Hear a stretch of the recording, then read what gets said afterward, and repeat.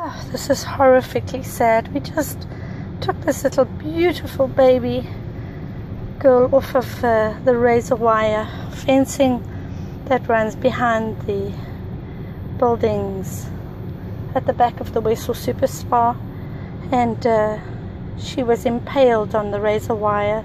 Mommy kept trying to pull her off and uh, at the same time ripping into this little body and obviously doing more damage but by the time we got there, you can see, look at this baby. It's in a terrible way. She's pulled, she's grabbed it with her mouth, tried to take it off. She's ripped into its little body.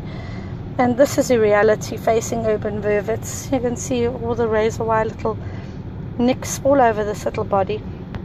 And uh, this happens often, way more often than people realize. Razor wire is not just a deterrent for criminals, but it is a horrific terror trap for wildlife. Our urban wildlife face these terrors every day and they die the most horrifically painful deaths.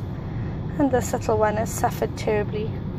And mommy stayed back, and when we got there, mommy and the big male came to try and help her to pull this baby off and protect her whilst she tried to save her baby. She had no idea that we were trying to help, and sadly, there was nothing that could be done.